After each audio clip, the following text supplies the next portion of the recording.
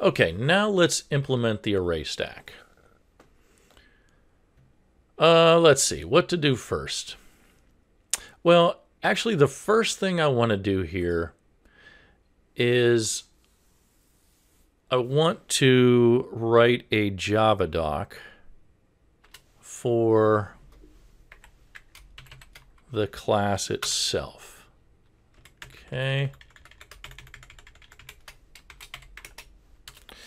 Um, and in this Java doc, uh, okay, I always forget what to put here. Uh, I think I've got this written down somewhere.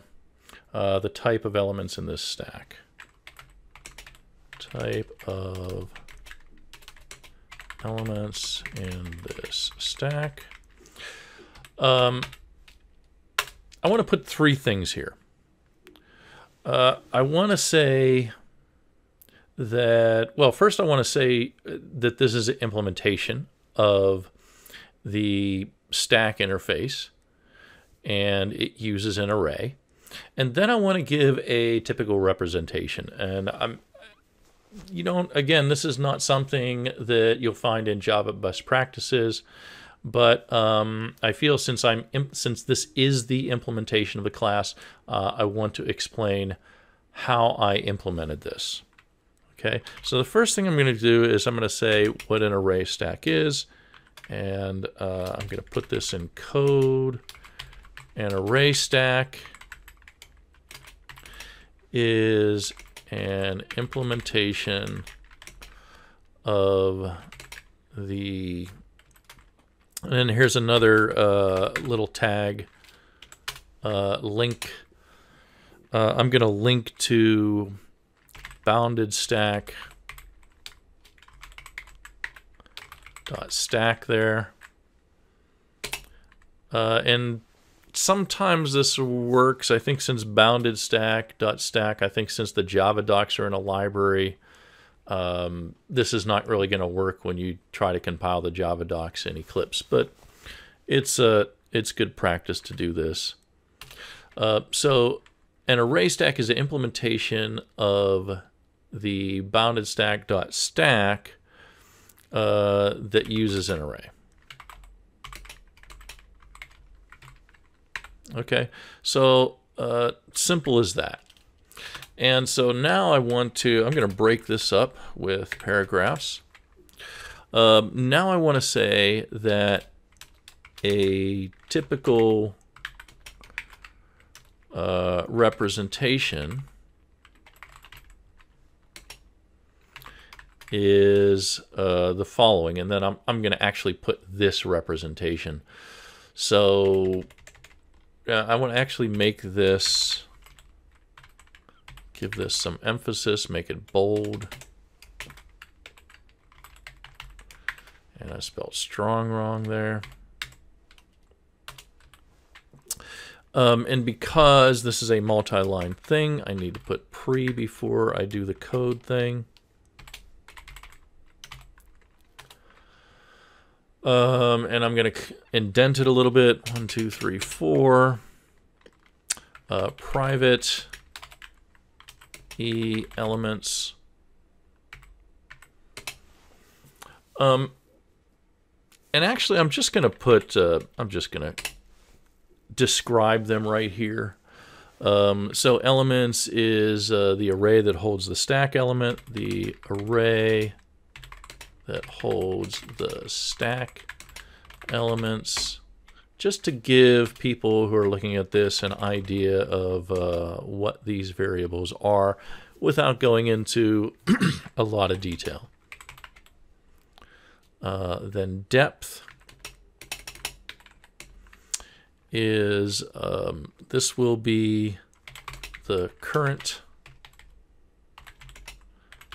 number of elements in the stack and then uh, private int capacity is going to be uh, the maximum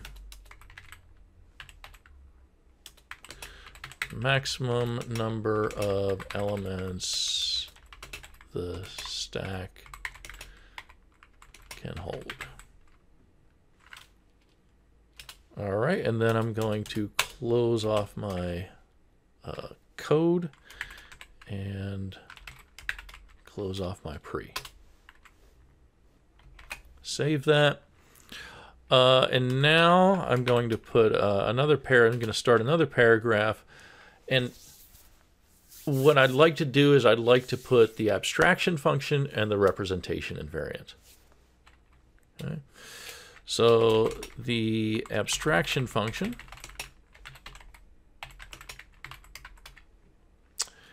is, and then I'm going to do this in code also. And actually, I'm going to do this in such a way that is that it is not a multi-line thing, but that's okay. I'm still going to use the um, formatting for multi-line. Uh, so this is going to be, basically I want it to look like this. I want there to be a bunch of elements, uh, a colon, and then the capacity. And the capacity is just going to be the capacity.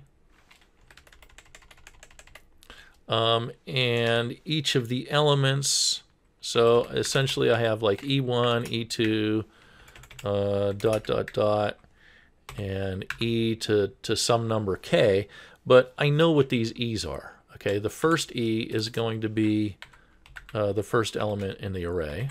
So this is going to be elements of 0. Second E is going to be elements of 1. And the last E is going to be elements of, uh, it's not depth, it's going to be just one shy of depth. So it's going to be depth minus 1 is the last element.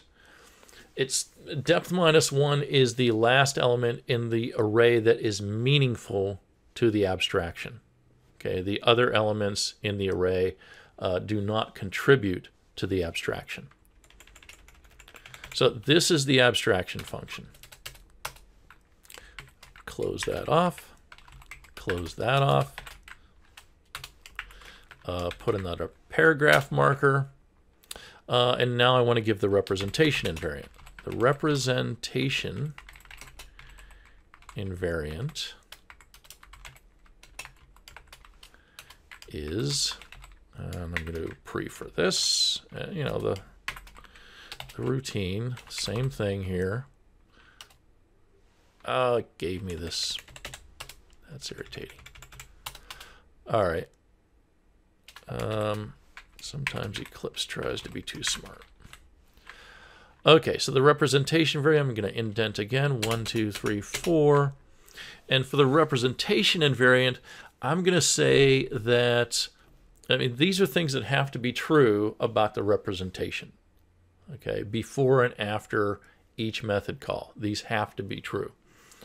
So I'm going to say that um, the elements of the array that correspond to meaningful elements in the stack cannot be null. So the way I'm going to say that is I'm going to say elements uh, k, I'm just going to pick a elements of k is uh, not equal to null when uh, just, yeah, for uh, k is between 0 and inclusive uh, and less than depth. So those elements are not allowed to be equal to null. All right, so that's uh, the first thing that needs to be true about uh, my representation. The other thing is that k is always going to be between uh, 0 Actually, k, can k be 0? Of course k can be 0. You can have a 0 length. I'm sorry, not k. That's what was confusing. I was confusing myself. Sorry there. Uh, depth has to be between um, 0 and depth. It can be also capacity, so it can be equal to capacity. And then there are restrictions on capacity. Capacity has to be uh, strictly greater than zero. Okay, let's think about this. Um, we said that we were going to throw an illegal argument exception if capacity was uh, less than zero, uh, less than or equal to zero. So yeah, capacity has to be strictly greater than zero.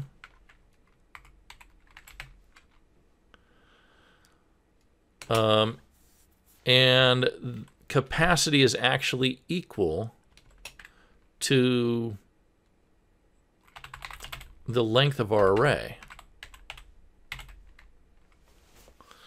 Okay, so that's kind of interesting. I could probably split that up uh, into two uh, into two conjuncts there. So let's say that. Let's do that. Capacity equals the length of the array and capacity has to be greater than zero, strictly greater than zero.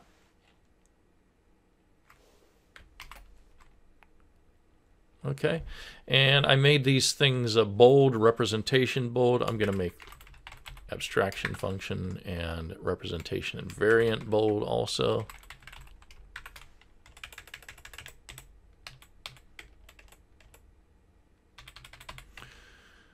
If I can find it. Okay, strong.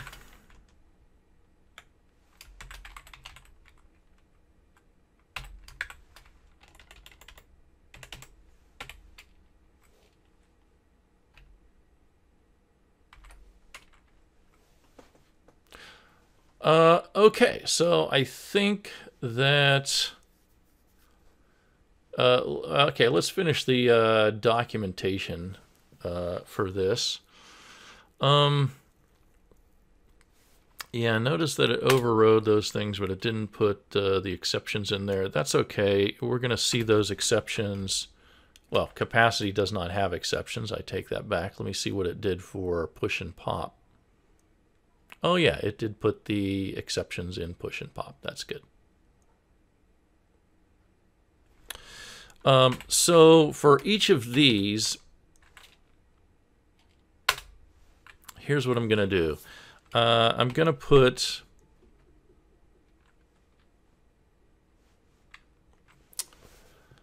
um, I'm going to put a tag in here called uh, inherit doc. All right, and that just means, actually, I'm just going to, whoops, uh, I'm just going to copy that. Uh, and that just means the Java doc is inherited from uh, whatever this class is inherited from. So this will inherit from abstract stack, and abstract stack will inherit from the uh, interface. Okay, so I'm going to do that for all of these methods.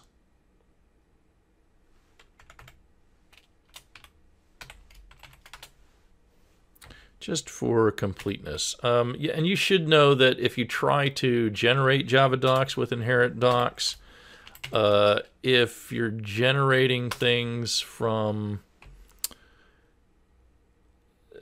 if you're trying to get inherited docs out of a library, it might not work that well in Eclipse. Okay, but I'm going to do it anyway because it is good practice to have Java docs for everything.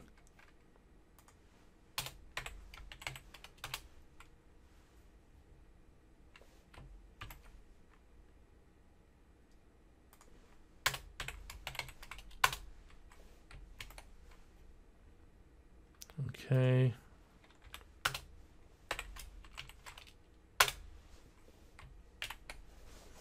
Uh, an iterator, you might want to do something more specific for iterator, but I'm just going to leave it like this for now.